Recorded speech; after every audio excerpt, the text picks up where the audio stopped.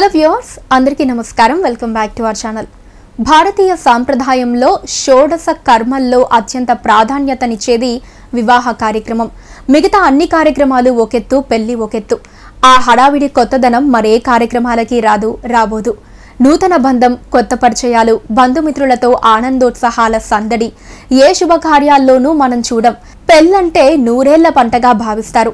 మాంగళ్యం తంతునానేనా మమ జీవన హేతునా అంటూ వేద మంత్రాలతో మంగళ వాయిద్యాల మధ్య రెండు హృదయాలు కలిసే అద్భుత సన్నివేశం పెళ్ళి కొంతమందికి వీడియోలు ఫోటోలపై ఉన్న శ్రద్ధ పెళ్ళితంతులో జరిగే విషయాలపై అస్సలు అవగాహన ఉండదు. పూర్వం నుంచి పెళ్ళంటే ఈ విధంగా చేస్తారు కాబోలు అని సరిపెట్టుకుంటూ ఉంటారు. అంతేకాని ఆ మంత్రాల్లోని అంతరార్థం తెలుసుకునే ప్రయత్నం చేయరు. పెళ్ళిలో ముఖ్యంగా చూసే రెండు సన్నివేశాలు జీలకర్ర బెల్లం ఒకరి తలపై ఒకరు పెట్టటం ఆ తర్వాత మూడు ముళ్ళు వేయటం. వధూవరులిద్దరూ చిటికెన వేలు పట్టుకొని అగ్నిహోత్రం చుట్టూ తిరుగుతూ ఏడడుగులు నడవటం. ఈ రెండిటిని ఎందుకు చేస్తారో తెలుసుకుందాం.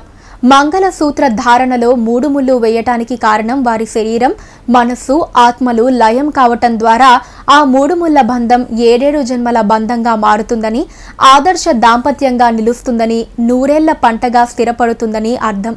వివాహ వేడుకలోని సప్తపదిలో నూతన దంపతులు వేసే ఏడడుగులకు ఏడర్థాలున్నాయి.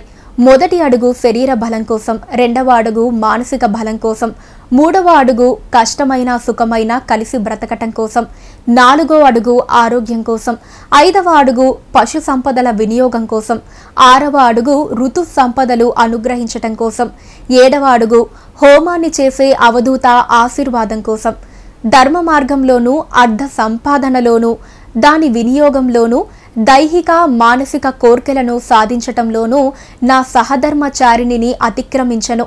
వేరొకరితో కలిసి నన్ను అంకితం చేసుకోను అని వివాహ ప్రతిజ్ఞ చేయిస్తారు. కన్య ఇల్లాలుగా ఇల్లాలు తల్లిగా బ్రహ్మచారి గృహస్థుడుగా గృహస్థుడు తండ్రిగా మారి సంతానాన్ని మంచి పౌరులుగా తీర్చిదిద్దటమే భారతీయ సంస్కృతి. ఓంకారంలో అర్థం కూడా అదే. అకారం ఉకారం మకారం అనే ప్రణవాలు ఉన్నవి. అకారం పురుషుడైతే ఉకారం స్త్రీ అయితే మకారం సంతానమవుతుంది. సంతాన విషయంలో ప్రేగు అమ్మదైతే పేరు నాన్నది. అమ్మ ఒడి గుడైతే నాన్న భుజం లోకాన్ని చూపేబడి అమ్మ జోలపాట ఎలాగో నాన్న నీతిపాఠం అలాగా. గుండెల్లో దాచుకున్న అమ్మ ప్రేమ గొప్పదా? గుండెల మీద తన్నినా కిమ్మనక నవ్వే నాన్న ప్రేమ గొప్పదా? వెరసి ఇద్దరు పెద్దబాల శిక్షలోని పదాలు అర్థాలు. అందుకే మాతృదేవో భవ పితృదేవో భవ అని తైతీరియోపనిషత్తు తెలుపుతోంది. సంతానం కలిగిన తర్వాత వారికి సేవలు చేస్తూ ఇదిగాక సౌభాగ్యం ఇదిగాక తపము ఇదిగాక వైభవం ఇలనొకటి కలదా అని పరవశించని తల్లులుంటారా? అమ్మ చూపేది ప్రేమే భార్య అందించేది ప్రేమే. అమ్మ ప్రేమలో వాత్సల్యం ఉంటే భార్య ప్రేమలో అనురాగం కనిపిస్తుంది. ఆ ఇద్దరి ప్రేమ బంధంలో ముడిపడి ఉండేది పురుషుని జీవితం. జీవితాన్ని ఇచ్చేది తల్లైతే ఆ జీవితానికో అర్థాన్నిచ్చేది సతి. వారిద్దరి సేవలను జీవితోత్సవంగా చేసుకోవాలి పురుషుడు. పెళ్ళిళ్ళల్లో వధూవరుల తలపై జీలకర్ర బెల్లాన్ని ఎందుకు పెట్టిస్తారు?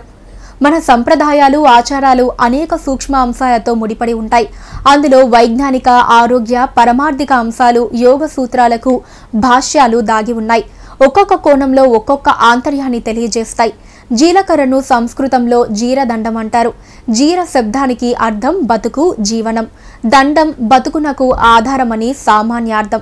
ఇక బెల్లాన్ని గూడం అంటారు. గూడం అంటే నిద్ర మత్తు. దీనినే పరవశం అంటారు. ఇలా జీలకర్ర బెల్లం అంటే జీవనాధార గుణమని అర్థం. జీవించటానికి కావాల్సింది ప్రేమ స్నేహం మైత్రి ఆపేక్ష. ఎదుటి వారిని ప్రేమించటమే నిజమైన జీవనాధార దండం. తాను వివాహం చేసుకుంటున్న భార్యను ప్రేమించటం భార్య భర్తను ప్రేమించటం ఇద్దరిలో అన్యోన్యానురాగం మాత్రమే. వారి మధ్య ప్రేమ ఒక మత్తులా ఒక నిద్రలా ఉండాలి. మరేదీ తెలియకూడదు. దీనినే ఒకరిలో ఒకరు అని జీవించటమే వివాహ పరమార్థం.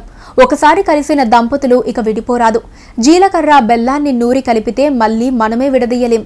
ఆ కలిపిన దాంట్లో ఒక బెల్లమే కనిపిస్తుంది. కానీ జీలకర్ర కనిపించదు. అంటే భార్యాభర్తల జీవనంలో ఎదుటివారికి వారి పరవశం జీవన మాధుర్యం ఆ మత్తే కనిపిస్తుంది.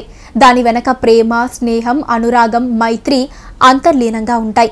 కలిసిమెలిసి బతుకుతూ సమాజాన్ని బతికించండి అనే పరమార్థాన్ని భార్యాభర్తలకు జీలకర్ర బెల్లం బోధిస్తుంది.